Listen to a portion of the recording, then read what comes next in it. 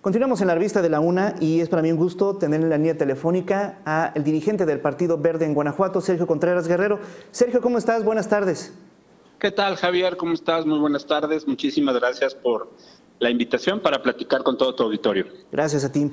Eh, Sergio, pues hemos este, ya sido testigos ya de dos presentaciones del Plan de, Nacional de Seguridad, el que presenta el eh, gobierno electo de Andrés Manuel López Obrador, y hoy se ha presentado el de Diego Sinúa Rodríguez Vallejo. Eh, es importante mencionar que los dos planes entran en un momento de emergencia, tanto a nivel nacional como a nivel estatal. Yo creo que en ese marco es entendible que se tenga, que se tenga bien ya pues, presentarlo antes de que termine el año. Esto no, ya no podía esperar. Eh, si quieres nos vamos por partes y luego hacemos una reflexión conjunta ya de lo que significa cada uno de los planes. En primera instancia, ¿cómo viste el Plan eh, Nacional de Seguridad este, que presentó el eh, gobierno electo de Andrés Manuel López Obrador? Una vez que hemos entendido y hemos ya testiguado un poco la polémica, sobre todo creo yo que ahí es donde se encuentra su mayor punto de controversia, en la creación de una Guardia Nacional que por lo pronto estaría alimentada por militares. Mira, eh, creo que en términos generales, eh, para poder hacer la crítica o la analítica, en términos generales, la propuesta de seguridad de Andrés Manuel López Obrador no me parece eh, totalmente incorrecta. Hay un punto de reflexión en cuanto a que ha habido una desarticularización completa por parte del trabajo coordinado en los diferentes cuerpos.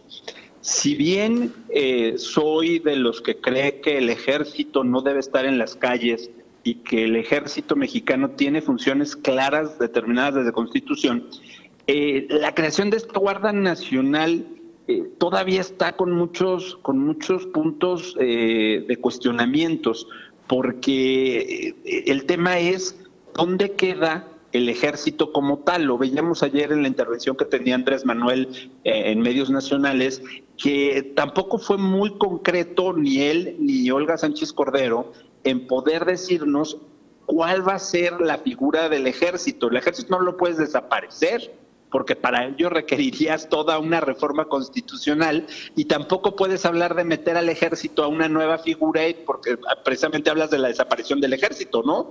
Y, eso no está eh, por ningún lado en el documento. Por lo tanto, el tema de la Guardia Nacional sigue quedándonos dudas de cómo realmente se va a conformar y cómo estos tres entes de los que él habla van a fusionarse en uno sin hablar de la desaparición del ejército mexicano. Eh, me parece atinado que trate de generarse esfuerzos en una sola figura, pero yo no hablaría de la metida ahí del ejército necesariamente ni la marina, sino hablar de la creación de una Guardia Nacional que sea un cuerpo único, el cual pueda trabajar de manera directa en fortalecer la lucha contra el crimen organizado, el tema de combate a todos los delitos federales y, por supuesto, coadyuvar con las policías estatales y municipales, porque algo que ha fallado en México, y esto eh, no se necesita ser un experto para saberlo, todos los ciudadanos lo vemos, es la coordinación en los tres niveles de gobierno en la lucha contra la inseguridad que estamos viviendo en México. Creo que no nos deben de decir que la cosa es gravísima, lo sabemos los mexicanos que la cosa es gravísima, este, el tema es que la estrategia de Andrés Manuel no es clara. Le falta mucha claridad, eso yo creo que es importante, eh, quedaron muchas dudas al respecto. Y yo creo que una de las partes fundamentales, si estarás de acuerdo conmigo, es la parte legal. Eh, después de la, del fallo de la Suprema Corte de Justicia de la Nación, en la que declaró inconstitucional la ley de seguridad interior que propuso el gobierno de Enrique Peña Nieto, queda una postura muy clara, Sergio, creo que eh, más allá de si, si impacta o no impacta en lo que pretende hacer Andrés Manuel, queda una señal muy clara de la labor del ejército, la razón de ser y cuáles son sus actividades muy concretas. Entonces, utilizar, vamos, estaríamos ante, tendría que ser una iniciativa bastante bien armada, Sergio, por parte de, los legisladores de Morena, en este caso, y aparte el cabildo que tienen que hacer con la bancada del Partido Verde, con las demás eh, eh, fuerzas, inclusive el debate que se pueda dar dentro de Morena, porque entiendo que también hay controversia al interior, y luego llevarlo a, a, Revolución Institucional, eh, Acción Nacional en este momento también moviéndose. Es que acabas de decir algo muy importante.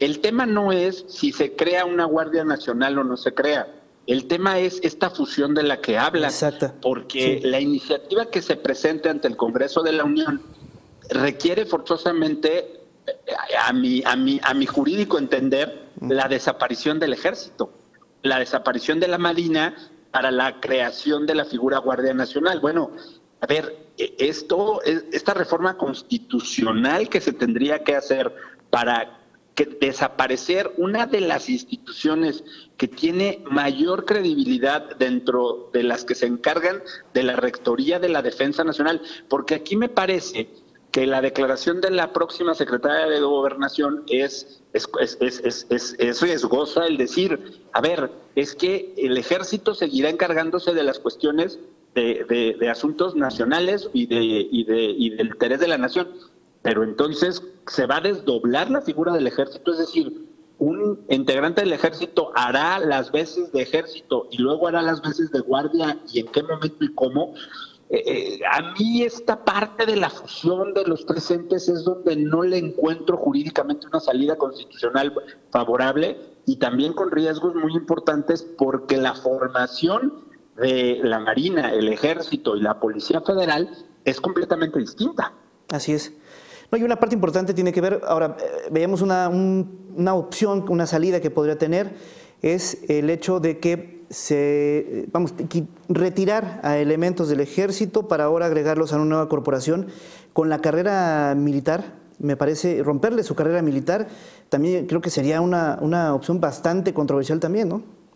A ver, el tema son las formaciones y las visiones. Exacto. Creo que siempre hemos cuestionado que el ejército mexicano en todos los años que tiene de, permanencia y de, y de, vigencia en nuestro país, que ha sido una, te lo vuelvo a decir, una de las instituciones que hoy gozan de mayor credibilidad por todos nosotros los mexicanos, no le veo el objeto de crear una Guardia Nacional con el ejército.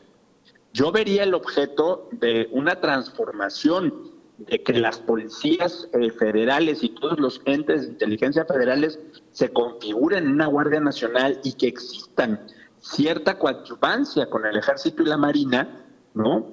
Que hablar de una integración tripartita en un solo ente con eh, autoridades distintas, con inclusive aplicaciones legales diferentes, porque no olvidemos que aún sigue en nuestro país vigente la aplicación del, de la ley marcial. Así es. Así es. Entonces, eh, vamos, las esferas jurídicas son completas que se aplica a un policía, que a un militar, que a uno de la Marina. Así es. No, completamente de acuerdo. Y bueno, ahora Sergio, pasamos a, si te parece, del ambiente estatal. ¿Qué tanto eh, hoy por la, por la, por, la, mañana, 11 de la mañana más o menos, Diego Sino Rodríguez presentó su plan estatal de seguridad, su estrategia estatal. Se habla de prepa militarizada, se habla de eh, eh, inyectar más recursos a policías municipales, reconstruirlas. Evidentemente ellos han aclarado que la estrategia del mando único pues no, ha dado resultados, hay que reconstruir las policías municipales. Y pues bueno, una serie de, movimientos, entre ellos el crear este Consejo Estatal de Seguridad que de inicio pues iría este, incluyendo a Alejandro Poiré, quien fue secretario de Gobernación con Felipe de Calderón.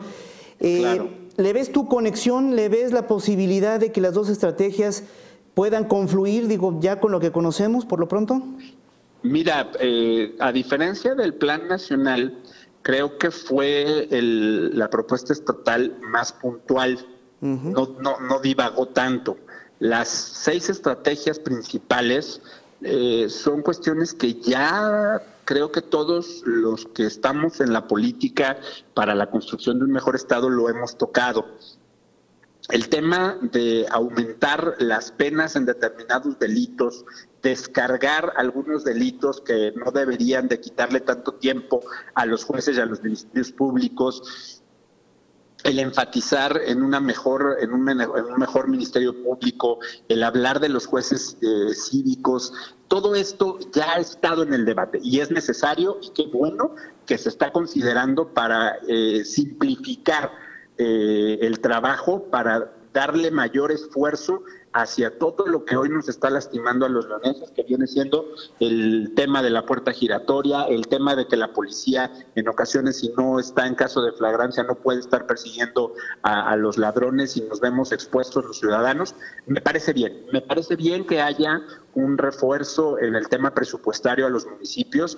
Aquí nada más yo tendría eh, dudas en cuanto a la vigilancia que se le tuviera que estar haciendo a los municipios para que efectivamente el recurso que se les dé lo destinen al tema de seguridad. En la práctica a veces esto no ocurre y desgraciadamente los municipios, eh, hablo por los 46 del Estado, que tampoco le invierten de su presupuesto a los temas de seguridad.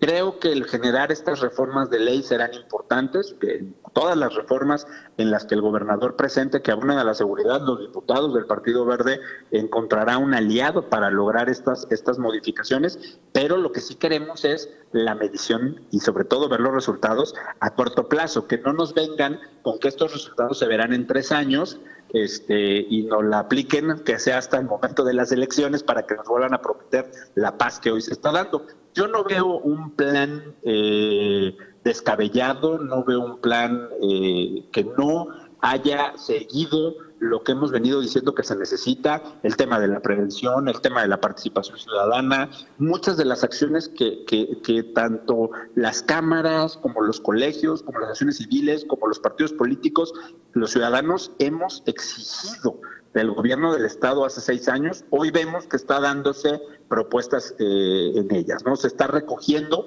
todas estas inquietudes en el programa. Ahora, el tema no es lo que propone, el tema es que ojalá se eche a andar de manera integral y que comparta visión y que se trabaje muy de la mano con el gobierno federal, porque si cada quien va a armar su estrategia aislada, pues vamos a volver a fracasar.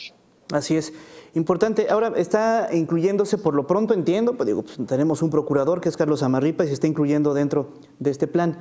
Eh, lo que viene es importante, Sergio, la conformación de la Fiscalía General Autónoma y sigue sin modificarse el paso automático. Sí, ahorita han confluido, hemos hecho cuentas, eh, cuatro iniciativas para eh, reconformar quitar el paso automático, más la ley de, para modificar la, ley, la reforma para eh, modificar la ley del Ministerio Público que ya presentó Acción Nacional, prácticamente pues ya dando un paso más adelante, este, sin detenerse todavía a modificar el paso automático.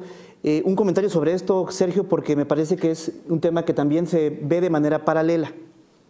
Totalmente. Creo que tenemos que seguir fortaleciendo eh, la visión del fiscal que sirva. Eh, el Partido Verde suscribió todos y cada uno de los puntos que el colectivo ha manifestado como necesario para Guanajuato. Seguimos y seguiremos diciendo que no estaremos jamás a favor de un fiscal a modo, un fiscal carnal, un fiscal que no venga a generarnos a los guanajuatenses el mensaje de tranquilidad y de lucha para generar la paz. Por lo tanto, no seguimos y seguiremos insistiendo en que no se dé este pase automático, que esperamos que los legisladores de Acción Nacional, que son la mayoría, eh, pues abonen y construyan en base a una fiscalía que sirva para que tengamos un próximo fiscal general que no sea quien hoy es procurador. Correcto. Pues Sergio, estaremos analizando lo que ocurre. Por lo pronto ahí están las dos apuestas, tanto la nacional como la estatal, y pues sobre todo los resultados que se requieren. Como bien dices, ya son inmediatos. Ya creo que seis años de estar esperando resultados, creo que ya, ya estamos en temporada. Hay algo que me gustaría concluir, Javier. Creo que en materia de seguridad nadie está presentando nada nuevo están presentando estrategias que se están replanteando y se está buscando perfeccionar. Pero lo que queremos los guanajuatenses y los mexicanos son resultados, es recuperar la paz de nuestro país y de nuestro estado y que las propuestas que estén, que no sean inconstitucionales, que no busquen echar un paso atrás, en, en, en, cuestión de la seguridad de nuestro, de nuestro Estado y que no se busquen hacer negocios millonarios como pasó con Escudo, que realmente se busque generar resultados, los vamos a apoyar, pero que sí se abra al debate de las ideas, al debate de las propuestas, también con los especialistas, porque luego creen los gobernadores y los presidentes que tienen la verdad absoluta. Y hay instituciones, hay academias, hay universidades, hay centros de investigación ciudadanos en materia de seguridad que pueden aportar para que lo que se está presentando dé los resultados que queremos todos los mexicanos y es recuperar nuestra paz. De acuerdo. Sergio, pues muchas gracias. Seguiremos en contacto. Un abrazo, muchas gracias y un saludo a todas. Gracias, Sergio. Sergio Contreras, dirigente estatal del Partido Verde.